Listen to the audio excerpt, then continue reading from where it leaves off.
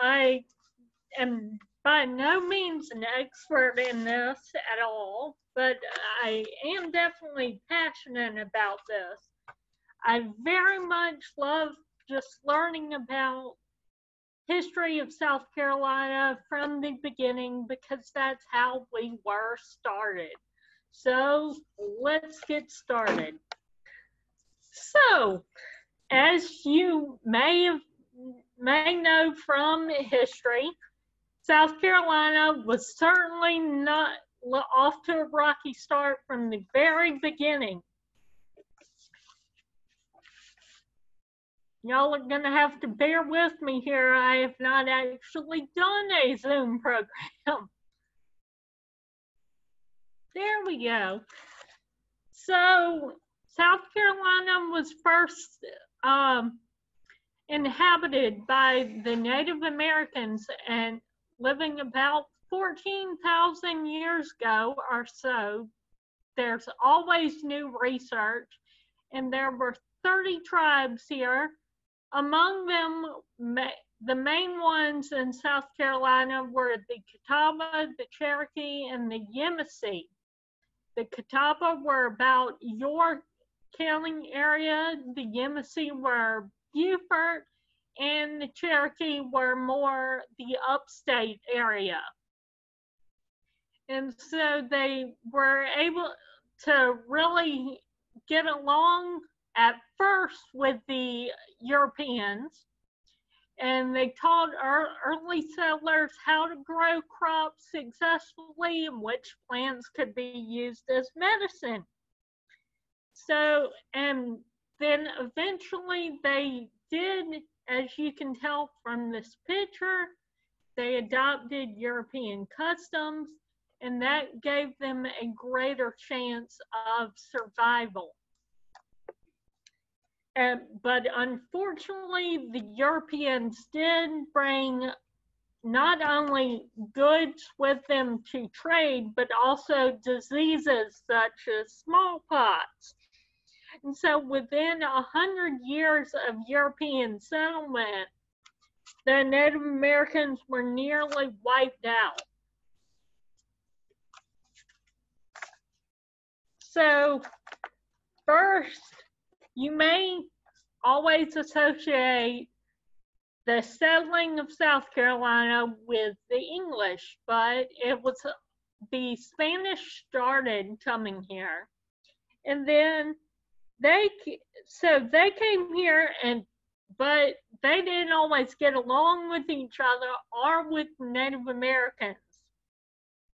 So they, they were wrought with, um, with frustration here and so decided to shift their focus to to Florida at the time just as a different um, category and getting away from these Native American groups. So then the French tried to come and they were seeking religious freedom and so they settled at Port Royal, which is ne near present day Beaufort.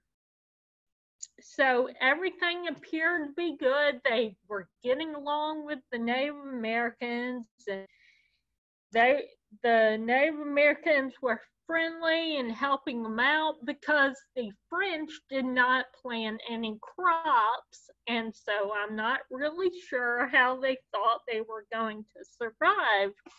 But they ended up, so they ended up just abandoning their fort and just leaving. And so, of course, most of them died. The Spanish then came back but only to fight with the French that remained, and then they went back on to Florida. So the English came and they found the land favorable for growing crops and everything.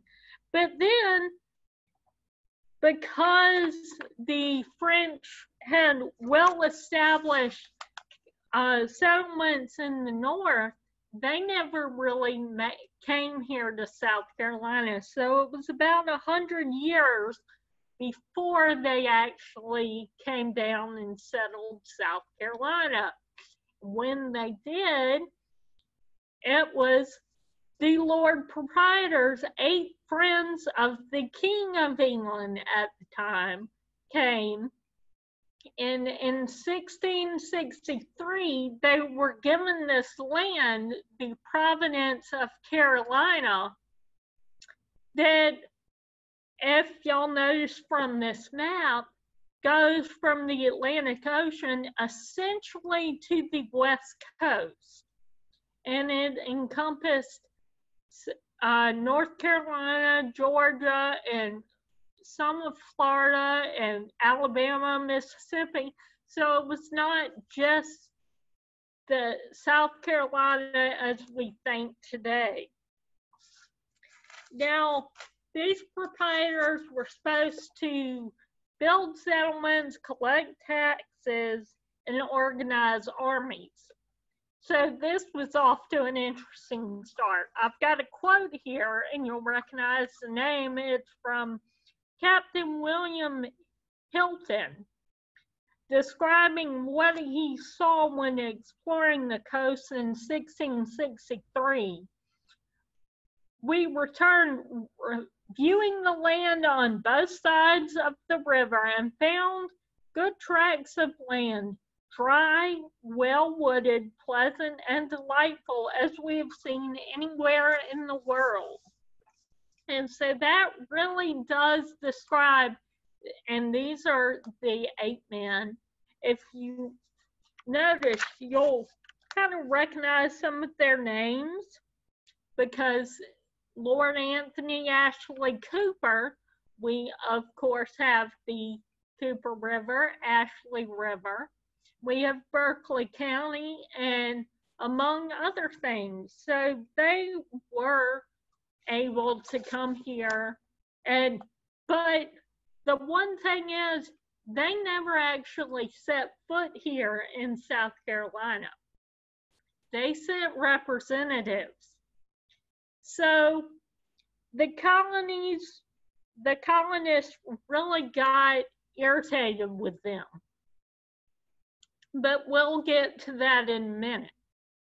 So in 1670, there were a 100 English settlers that came to Charleston.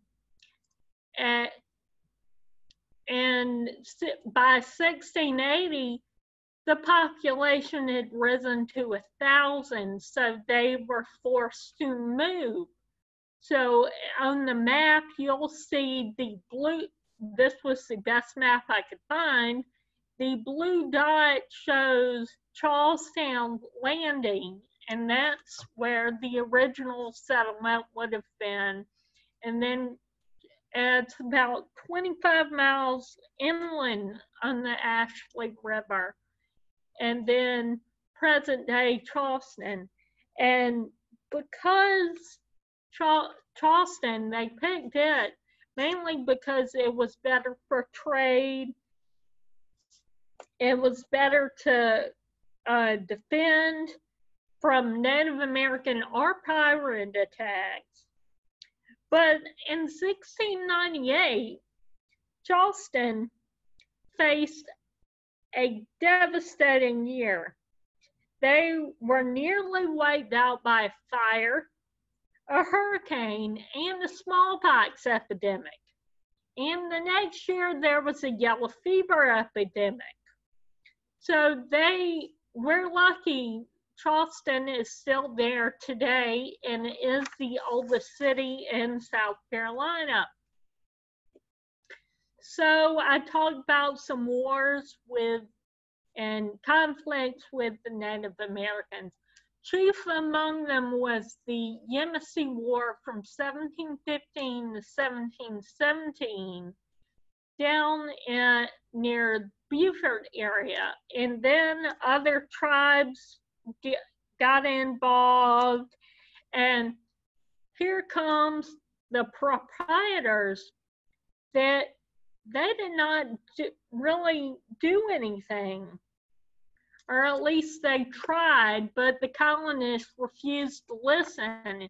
And so the Native Americans ended up killing at least 90 settlers at first. But then um, within those next two years, over 400 settlers were uh, killed, and then cultivated land was destroyed.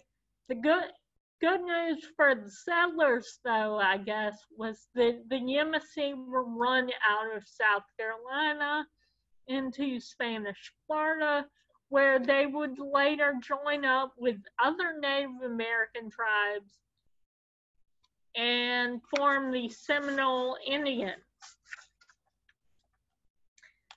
So another thing, reason I mentioned with moving uh, the city of Charleston to its present day location was pirates. And so y'all may recognize the gentleman here on the uh, screen with the black beard. This was Earl Tech, or Edward Teach, aka Black Blackbeard. And what he often did to make himself even look more fierce was he put lit matches in his beard. And so he came to Charlestown in 1718 and looting ships and taking hostages. And normal things you would think pirates would do, except this was a little different mission. For some reason, they wanted medical supplies. Didn't necessarily want the silver and gold, which they did get some, but so they were seeking the medical supplies. There were it took six days before the colonists actually agreed to give the supplies. And then the pirates just left without a shot being fired. So the not all pirates were what they seemed. Women often became pirates. If you'll remember in uh, Pirates of the Caribbean, the female lead did join the pirates. Well, this is was kind of a similar story, I guess, in South Carolina with Anne Bonny. And she was from Ireland, but had lived in South Carolina most of her life. And so it was the quote unquote typical love story when she fell for a pirate and decided to go join him on his raids on the high seas. Well, that did not seem to work out in their favor because things go awry, as they often did. And the crew was caught um, by the authorities, and the men were immediately hanged. And the women, there were two women with them, but because they were pregnant, they were just put in prison. And one of the women, she she died about a year later in prison. Uh, but Anne Bonny did survive and she was released and came back to live in Charleston. And then she later married and had more children. Okay, so 1729, South Carolina became a royal colony. So not as simple as you might think. So after the North and South Carolina split in 1712 and became two separate colonies, they were largely able to govern themselves. But then, and the proprietors were still in place and they they were not doing a wonderful job. Remember how I said they had never come here? Well, it's a little hard to rule if you are 3,000 miles away. So the colonists voiced their displeasure, and the King of England at the time made them a royal colony because South Carolina was valuable for their natural resources. So you might think this chair is rather odd. Here, it um and it's large like a throne. And you can see it on display currently at the South Carolina State Museum. It's owned by the McKissick Museum at, with the University of South Carolina.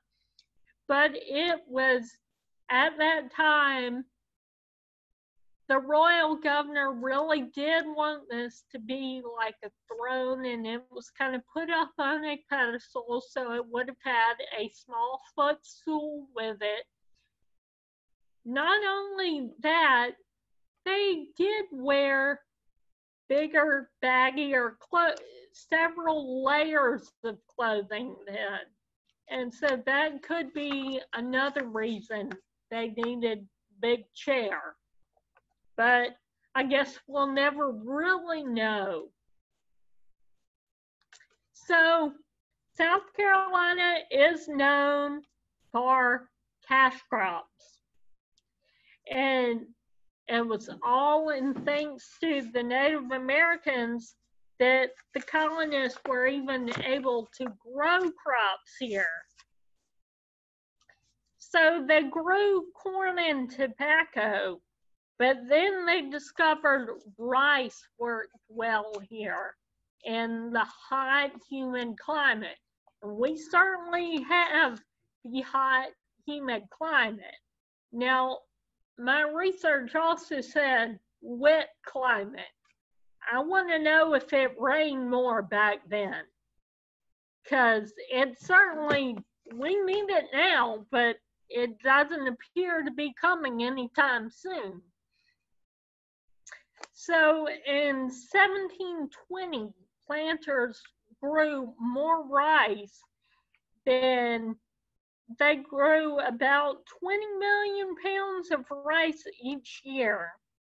And because they did this, they discovered they needed to have more labor in the fields, and that's where the African slave trade came into play.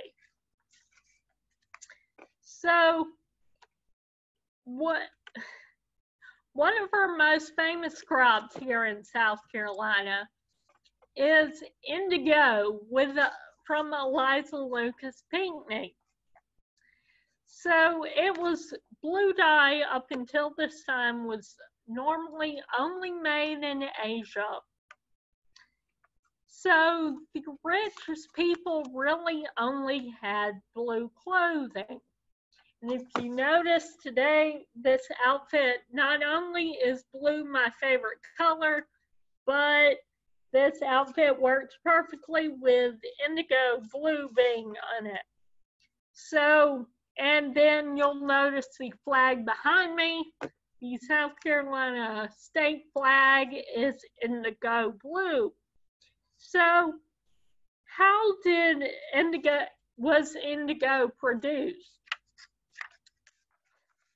Well, I will tell you, it is not an easy process at all. And you would normally think that it would, the color would come from the pretty blue flowers. No, it actually comes from the leaves and it through a fermentation process, which is very complicated. I'd be here all day trying to describe it. So you get this powdery blue substance and that's how you make the dye. or you can take the 20th century way out and just go buy RIT dye at the store. And it does come in indigo. So that's just a little fun fact there. So life as a colonist was very, very different here in South Carolina. It was one of the fastest growing colonies in the original 13 colonies, with most people coming from England, France, Germany, Ireland, or Scotland. So they um, were no longer forced to buy the European goods because of this influx of population because there were several merchants in this. And so they were not forced to buy from England. So the wealthy families tended to live down near Charleston, and this picture on our screen is Drayton Hall. If any of y'all have ever visited, it is one of the few remaining buildings from the uh, Revolutionary War period in colonial times. And I've not been there yet, but it certainly looks inviting. And so they tended to have the large plantations, mainly in uh, around Charleston area. Usually they would live outside the city, but they would also own a home in downtown Charleston so they could go there during the winter months typically and families, the wealthy families would have their servants or their enslaved Africans uh, look after the children who who were often taught by tutors and then sent to England for university. A lot of the wealthy would participate in entertainment and dances like this. But then on the other side, you have the simple life of those families that weren't quite as wealthy. And these families did not tend to live down in Charleston. They were more of the frontier and farm families in the up what now is called upstate. So up near 96 and Greenwood area. So all these families, as opposed to the wealthy families, everybody in the family worked on the farm. Boys worked alongside their fathers because these families were not wealthy enough to have servants. So they really needed to work. Every everybody needed to take part, even the young children.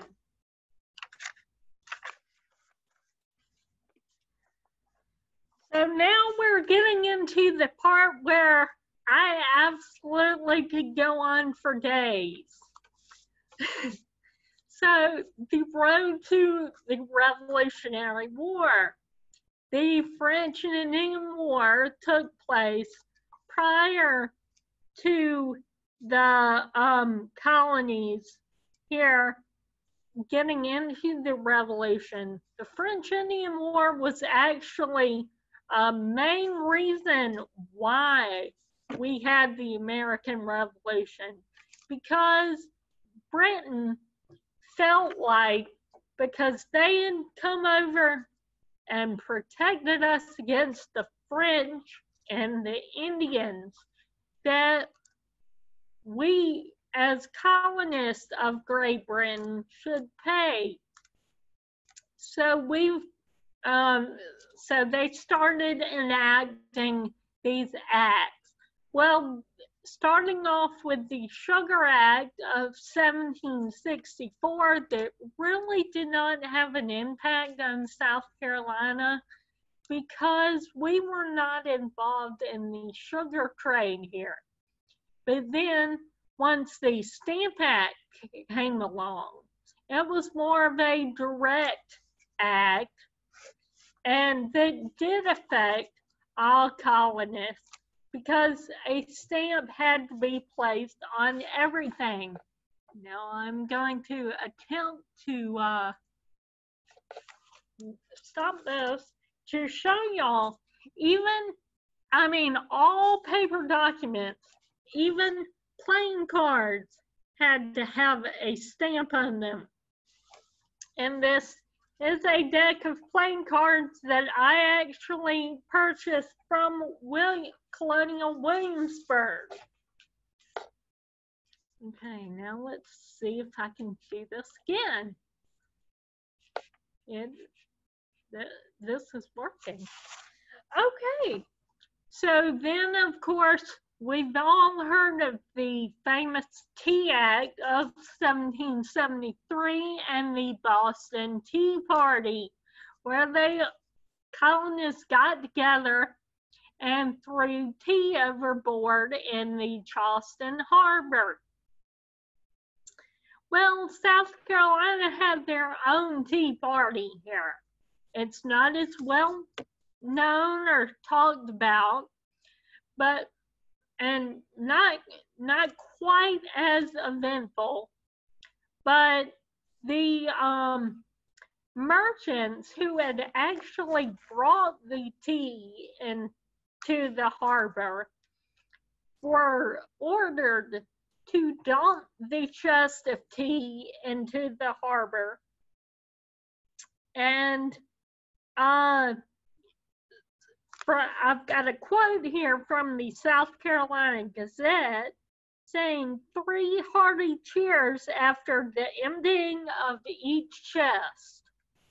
Now, mind you, there were only like six chests, but it still had an impact here in South Carolina. So, most of the revolution up until up at this point was up north until South South Carolina did see a piece of it. There, there we go. So we had the Battle of Sullivan's Island. And if you notice that date, that was actually one week before we officially declared independence from Great Britain. So the British thought that they could come and conquer South Carolina. Well, they because they had the most powerful navy at this point. So, uh, a the uh, William Moultrie got some men together, most of them enslaved people, to build a fort at Sullivan's Island that out of palmetto logs and sand. Well, just because that happened to be what was on the island at the time, little did they know that that would help out in this circumstance. So they only uh, completed about half of the fort before the British arrived. And the British had planned out a strategy they were going to, some land troops were going to cross. Well, they ended up not being able to because the water was too deep for them. Then another ship that was supposed to sail, sail uh, ran aground. And so the remaining ships were forced to sail directly in front of the fort and the American guns. So, uh, what, and then in essence, so they were um, sending targets just right there in front. A fight ensued. But the remember the fort was made out of palmetto logs, which think about celery, how it's very spongy and um, you have all the different strings of the celery. Well, that's kind of like a palmetto log. Is so the cannonballs would often they either bounce off the logs to the dismay of the British, or they they would just kind of sink in, but not explode or anything. And so brave Americans would actually go and get the cannonballs and put them back in the American guns and fire them at the British. So this was the earliest form of recycling and green warfare that I know of. So when you think of the Battle of Sullivan's Island, you really think about the flag and William Jasper saving the flag. But that was not one of the, the, the true hero of this was the Palmetto Log Fort. So there, there's a lot to the American Revolution in South Carolina, but we're just going to quickly go over what needs to be discussed here. So we've got the siege of Charlestown in 1780. Now remember the Battle of Sullivan's Island was 1776. So we've skipped ahead to 1780. The British, because of their awful defeat at Sullivan's Island, later named Fort Moultrie, was so so devastating of a blow that they did not even come back south until they really needed to. Once France and Spain joined the American Revolution as the on the side of the Americans. Did Britain? They were forced to change their strategy and decided to come down south. And they thought it was going to be easy down here. Well, they were going to be proven mistaken. But at the siege of Charleston, it really um it was a two about two months before and the british would surround the city and kind of strangled the city like a snake strangles its prey and um that is a hard analogy for me but it works. Um, so then we have the Waxhaws Massacre of May 29th, 1780.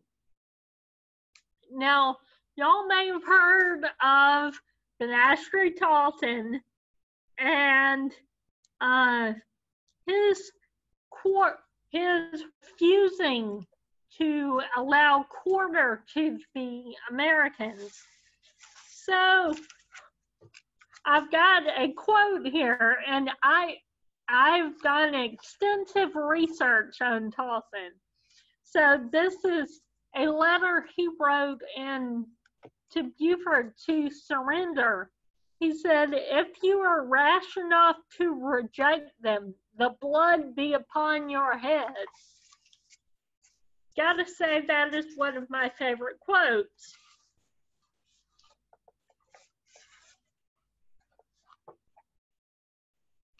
And if y'all want to read more about Tarleton, I highly recommend this book, Brutal Virtue, by my good friend Anthony Scotti, who's a professor at Midlands Tech University or college.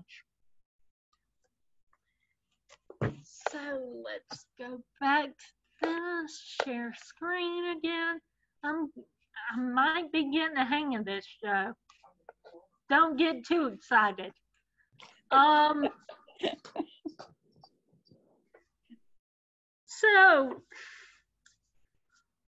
it, and then it looked like there was going to be kind of a stalemate here. The Americans might have a chance, but then came the Battle of Camden, which was a very embarrassing defeat for the Patriots. Of course, the Patriots at this point were very ill and uh, led by Horatio Gates, who was not necessarily the best one to lead the militia at this point. So what what Gates did, it was became very clear very early that the Americans were going to lose. Well, Gates left the field riding very fast upon his horse and not stopping until he reached Charlotte. And so, unfortunately for Gates, he did lose his job after this, but we got an even better leader in Nathaniel Greene. But back to really South Carolina at the time, it was a common practice in European warfare to fight just in an open field, one one army in front of the other one. If you've ever seen the Patriot, you know about that's why they did it. I, I don't know why they felt this was the best cause of action, but thankfully we came across Francis in South Carolina. We had Francis Marion, Thomas Sumter, and Andrew Pickens, who introduced guerrilla warfare. And Francis Marion was definitely famous for hiding in swamps and forests. Now, if you go back and look at how he got his nickname of the swamp fox, it is accredited to be, have been given to him by Banastre Tarleton. So y'all will see this famous painting here of Marion offering sweet potatoes to the British officer went under a tree. Well, here at the Relic Room, I have discovered that we have a piece of this tree. And this is the actual tree that they had this famous sweet potato dinner under. Now, when our inventory said piece of tree, I was thinking this very small piece of tree, not this big chunk here that looks like they may have chopped down a great bit of this tree. But it's one of the many things we here have at the relic room that uh, hope, hopefully one day we will have these more on display. So back to our presentation. I, I promise I'm near the end, guys. I know I can get excited about the American Revolution.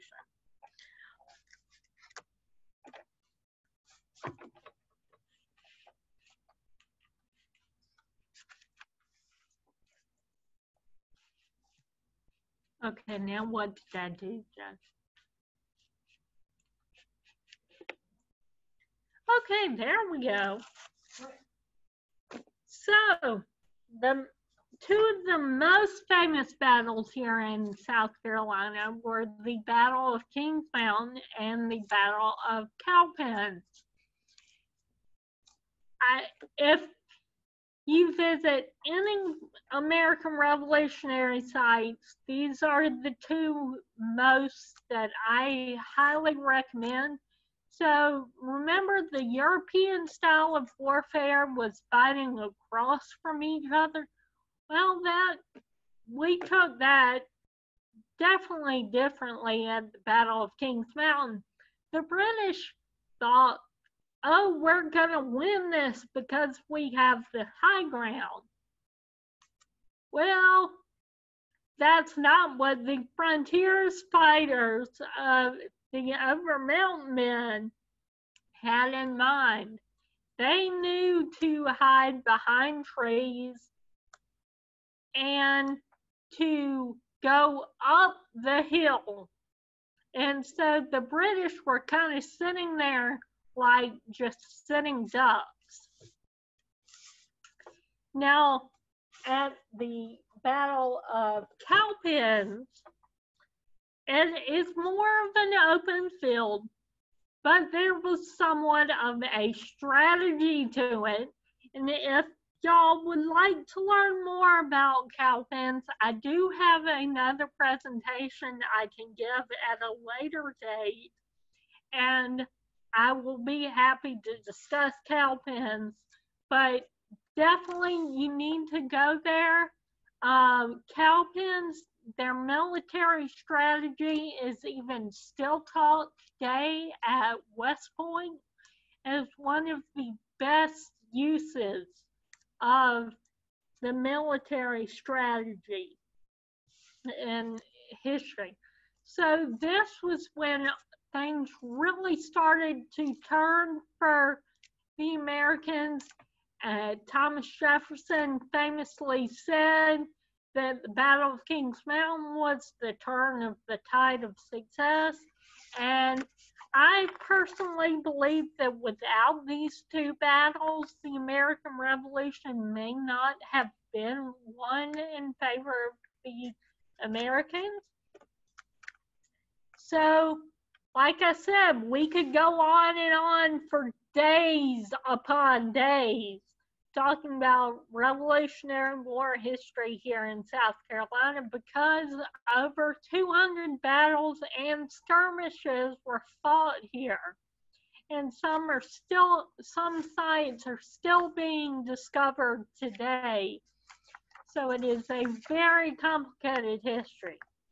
Now, when you usually think about war, you think about the men fighting in the war. But here in South Carolina, a large part of it was fought with the women,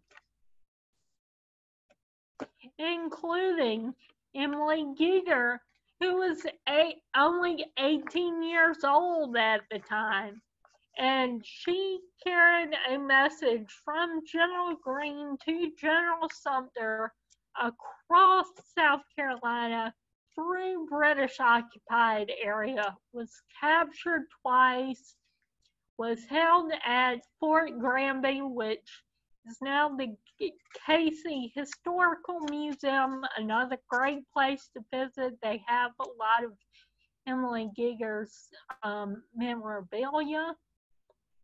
And because she did make this ride, the Battle of Eutaw Springs, which became was the bloodiest battle in the American Revolution, it was the outcome of this famous ride.